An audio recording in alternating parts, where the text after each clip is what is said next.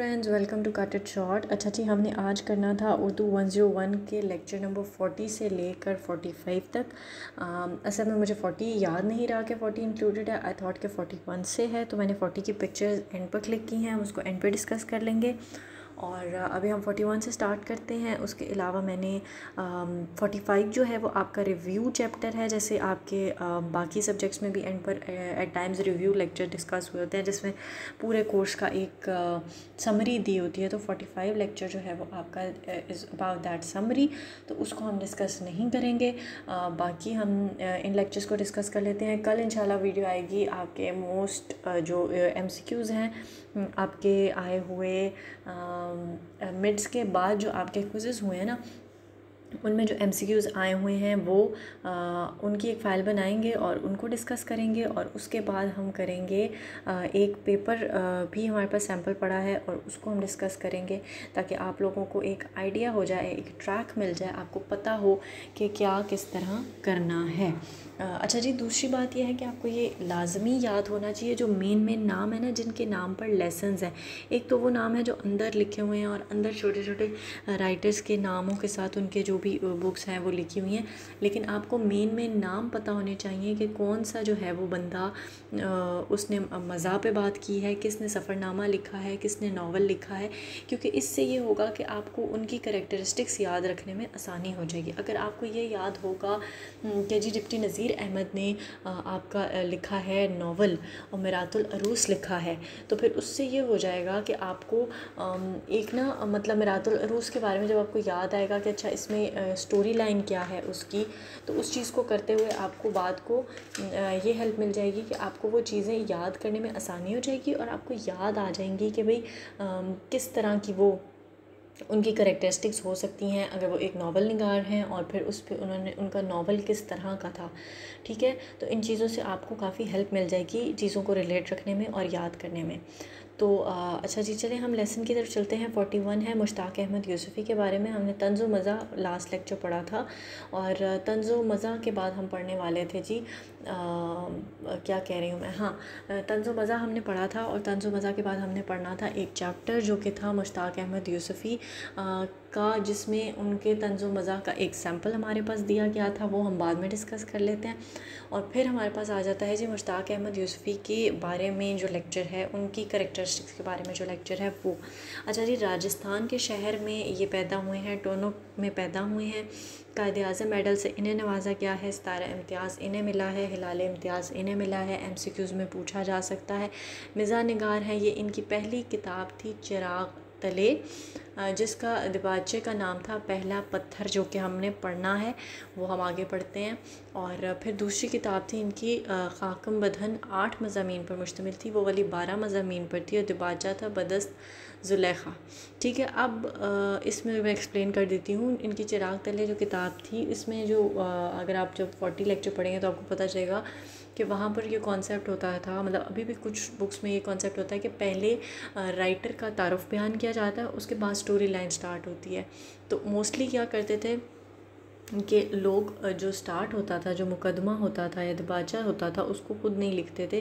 किसी से लिखवाते थे और बहुत बहुत अपनी बड़ी बड़ी तारीफ़ें कराते थे ताकि जो रीडर है ना, उस पर एक बड़ा अच्छा इम्प्रेशन पड़े राइटर का।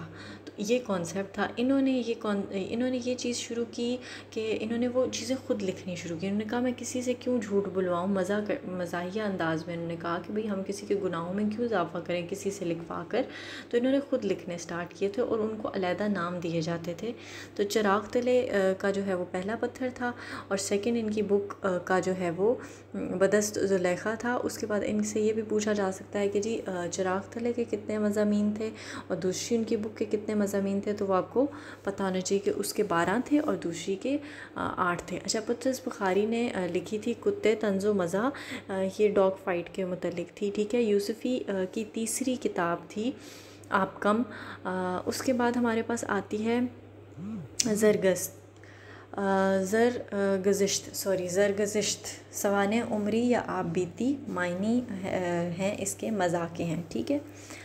तो ये कुछ कुछ चीज़ें हैं जो आपको पता होनी चाहिए। उसके बाद हमारे पास आ जाते हैं मुश्ताक अहमद यूसुफ़ी की अदबी खसूसियात, जिसमें है बेसाख्तगी, बेच बरजस्तगी।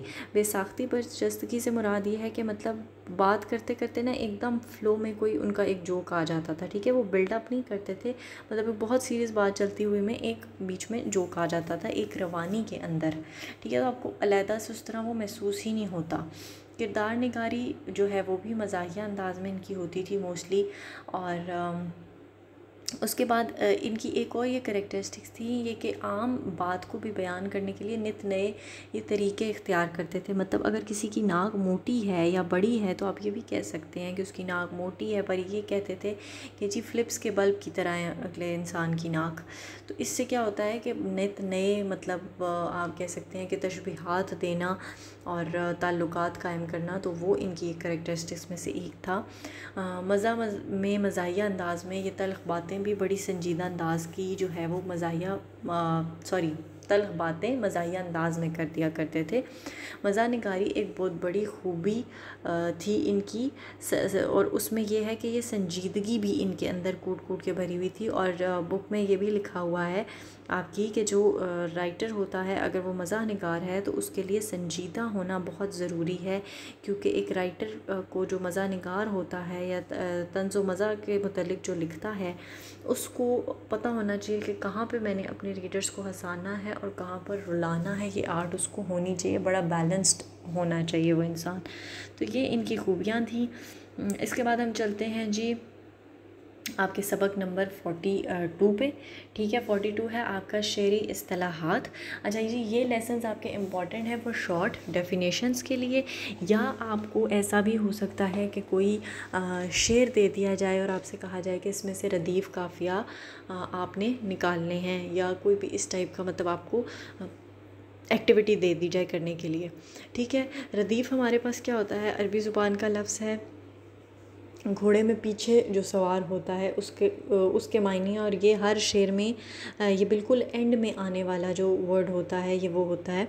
और ये हम आवाज़ होते हैं, हम वज़न होते हैं जो कि जैसे यहाँ पे शेर में हमें पता लग रहा है कि था था जो है, ये क्या है? ये रदीफ़ है।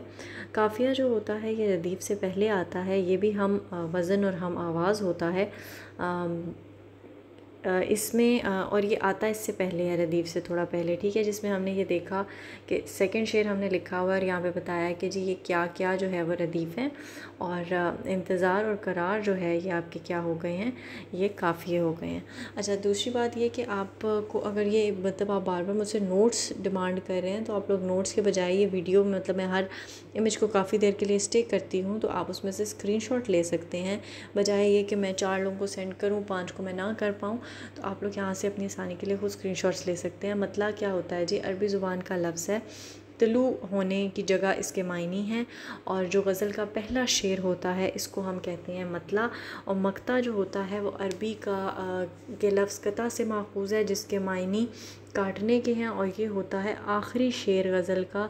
और ये खाली आखिरी शेर नहीं होता ये वो वाले आखिरी शेर होते हैं जिसमें शायर अपना तखलस इस्तेमाल करता है। अगर लेट सपोज़ शायर ने अपना तखलस इस्तेमाल नहीं किया और गज़ल का आखिरी शेर है तो आप उसको मकता नहीं कहेंगे। इल्म बयां होता है जी, बयान करने का तरीका ऐसे अंदाज में जो राइटर्स के पास होता है जी बेसिकली कि ऐसे अंदाज में बयान करना कि अगला आपकी बात को सुने, समझे इम्प्रेस हो जाए आपसे, जो परजुएशन होती है बेसिकली उसका अमल हो सके। फिर तशबी है मुशबा है, वजह मुशबा है मुशबा है, ठीक है, ये सारी चीज़ें हैं, इनको हम डिस्कस कर लेते हैं। एक ही एग्ज़ाम्पल मैंने ली है ताकि आपको सारी उससे चीज़ें क्लियर हो जाएँ। और उमर शेर की तरह बहादुर है। ठीक है, ये हमारे पास एक एग्ज़ाम्पल होगी। अब ये पूरा जुमला क्या है? ये तशबी की मिसाल है कि आपने उमर को शेर से तशबी दी है। ठीक है, अब मुशबा बे क्या है? जिसकी मानद पहली शेर को करार दिया जाए। मतलब शेर की मानद करार दिया जा रहा है उमर को। ठीक हो गया जी। वजह मुशबा क्या है? बहादरी का को ज़ाहिर करना वजह मुशबा है। किसकी वजह से आप दोनों चीज़ों को रिलेट करें बहादरी की बिना पर। ठीक है तो वजह मुशबा बहादरी हो जाती है और मुशबा क्या होगा जी? मुशबा वो होता है जिसके लिए आप किसी की खसूसियात को बोरो करते हैं या जिसकी आ, के लिए आप किसी चीज़ को उसके मानद करार देते हैं ठीक है? एक तो होता है ना कि जैसे हमने पहले कहा कि जी शेर जो है वो मुशबा बे है। शेर से मतलब क्या मुराद हो गई कि आप जिसकी मानद पहले पहली चीज़ को करार देना चाह रहे हैं। तो इसी जुमले में जो पहली चीज़ है वो बेसिकली हो जाएगा आपका मुशबा जैसे अली है तो अली के लिए आप तशबी लेना चाह रहे हैं ना शेर से। तो आ, अली अली हो या उमर हो, जो भी नाम हो वट तो वो क्या हो जाएगा? मुशबा हो जाएगा, शेर मुशबा वे हो जाएगा, वजह मुशबा बहादरी हो जाएगी, ठीक है जी? I don't know if I am pronouncing them right ठीक है, लेकिन I am trying my level best कि मैं उर्दू किसी को पढ़ा सकूँ, क्योंकि उर्दू मेरी बहुत बुरी है। I know I already know तो ये मुझे बताने की ज़रूरत नहीं है। अच्छा जी, इस्तारा क्या होता है? इस्तारा होता है तशबी तो होती है कि आप किसी चीज़ को एक चीज़ को दूसरे की मानत करार देते हैं। इस्तारा ये होता है कि आप किसी चीज़ की खसूसियात को उधार ही कर लेते हैं, ठीक है? उधार करने से मुराद क्या है? एक तो पता नहीं इसको क्या प्रॉब्लम चल रही है, कोई काम मेरे से सीधा क्यों नहीं होता? अच्छा जी इसमें ये होता है कि आप अगले की खसूसियात को उधार कर लेते हैं। मतलब उमर शेर की तरह नहीं है या शेर की तरह बहादुर नहीं है, उमर शेर है। डायरेक्ट हमने बात ही ख़त्म कर दी, ठीक है? क्योंकि हमने उसकी जो वो ख़ासियत थी, वो हम उधार कर चुके हुए हैं। इसी तरह अगर हम इसको एक्सप्लेन करें तो उमर शेर है मैं उमर जिसके लिए आपने उधार लिया है, वो मुस्तार ले है या ला है, जो भी कहते हैं इसको, और मुस्तामना है शेर, ठीक है? वजह जामिया वजह जामिया होती है जिस वजह से सॉरी जैसे वजह मुशबा होती है वो खसूसियात जिसकी बिना पर एक शय को दूसरी बिना ये मैंने क्या लिखा हुआ है? मुझे भी नहीं पता चल रहा। अच्छा हम फिर तशबी देखते हैं मैं साथ साथ बुक राइटिंग से देख लेते हैं, मुझसे मुझसे पढ़ा नहीं जाता। हरफ हरूफ जो है तशबी होती है मतलब जब जब आप अपनी पूरी एक्सप्लेन कर रहे होते हो ना तशबी का सेंटेंस तो उसमें जो अल्फाज आप इस्तेमाल करते हो तो चीज़ों को रिलेट करने के लिए, जैसा कि जैसा कि भी एक है।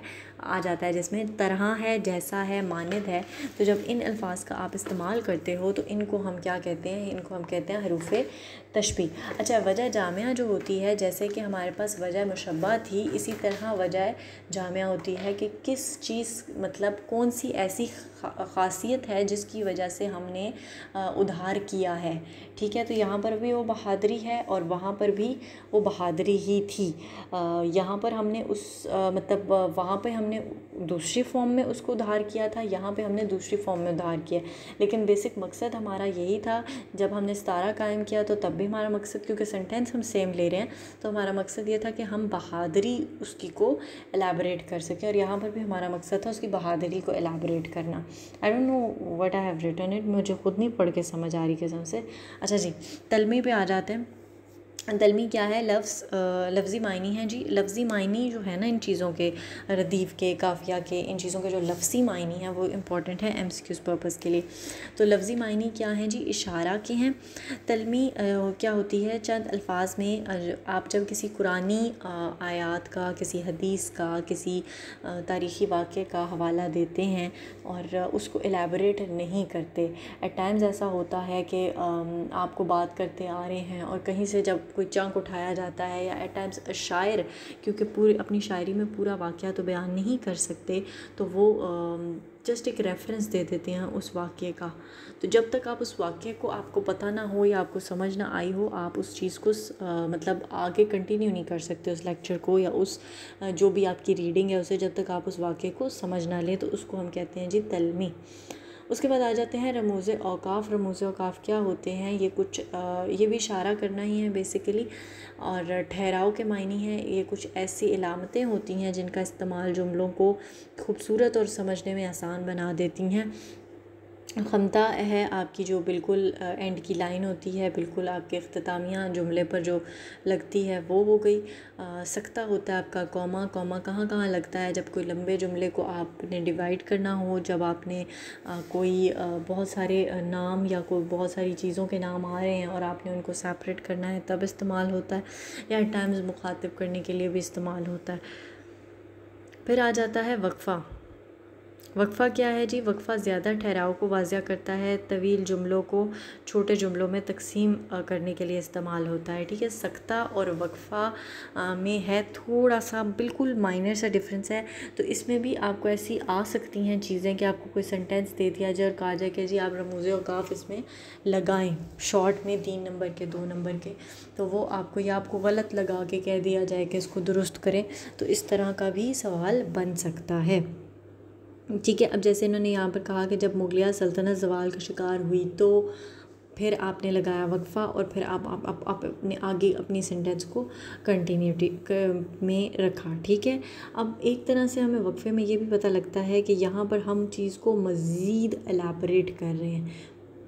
सकता वो होता है जहाँ पर आपका जो जुमला है, उसमें बहुत सारे काम हैं, बहुत सारी चीज़ें आ रही हैं तो आप उस जुमले को दो पार्ट्स में डिवाइड कर देते हो, ठीक है, कॉमा लगा के।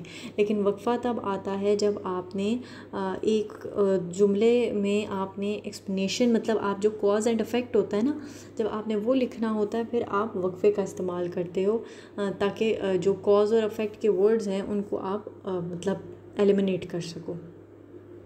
उसके बाद आता है राबता। राबता भी ठहराव होता है। इससे बेसिकली ये ज़ाहिर होता है कि आप ताल्लुक़ बताते हो, ठीक है, एक तरह से।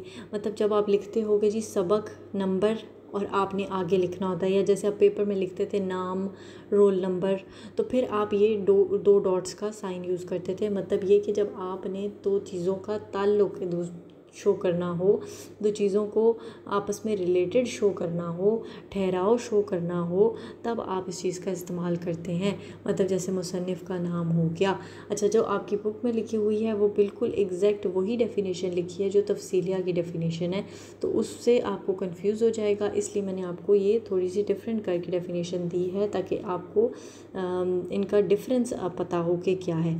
तफसीलिया जो होता है, ये बेसिकली किसी भी किस्म की तफसील की अलामत अलामत होती है जब आप कोई बात करते हो कि जी जब आपको कहा जाता है कि जी इस चीज़ के फ़ायदे लिखें इस चीज़ के नुकसान लिखें तो फिर आप कहते हैं कि इस चीज़ के फ़ायदे दर्ज झैल हैं। और फिर आप आ, को पता होता है कि अब आपने तफसील में बात करनी है तो आप तफसीलिया का इस्तेमाल करते हैं। या अगर आपने कोई किसी भी चीज़ को आपने डिस्कस करना है इन डिटेल तो फिर आप तफसीलिया का इस्तेमाल करते हैं। उसके बाद सवालिया वीनों के क्वेश्चंस में आ जाता है। उसके बाद हमारे पास आते हैं नदाया, फ़जाया या इस्तजाविया। ये होते हैं बेसिकली आपकी खुश, खुशी का ज़ाहिर करने के लिए हैरानी, अफसोस मतलब डिफरेंट जो आपकी कैफियत है ना, उनको ज़ाहिर करने के लिए आप इन्हें यूज़ करते हैं। मतलब हर सिचुएशन में आप साइन एक ही यूज़ करते हैं। नदाया होता है आवाज़ देना फ़जाया होता है, हैरत और इस्तजाबिया भी इन्हीं से मिले जुले मतलब निकालता है, ठीक है? वावैन क्या है कि जब आप किसी बात को एज़ इट इज़ नकल करते हैं कि फ़लाँ ने कोट किया और फिर आप उसको बिल्कुल एज़ इट इज़ लिखते हैं विदाउट एनी चेंज तो फिर आप वावैन का इस्तेमाल करते हैं। जुमले के चार अज्जा का यहाँ पे ज़िक्र किया गया है फ़ेल फ़ाइल मफूल और है सिफ्त। उसके बाद इसमें ज़मीर क्या होता है जी? आपका जो इम प्रॉपर नाउन होता है, जिसमें मतलब आप कहते हो कि जी वी दे टाइप का करके से, उस तरह के आपके जो है वो इसमें ज़मीर कहलाते हैं। इसमें ज़मीर की हालतें क्या हैं जी? हालतें आपको पता होनी चाहिए, आपको चार अज्जा भी जुमले के पता होने चाहिए फॉर शॉर्ट क्योंकि ये लेसन्स भी आपके लिए काफ़ी इंपॉर्टेंट हैं। इनमें से काफ़ी मटेरियल इजीली बन सकता है, ठीक है?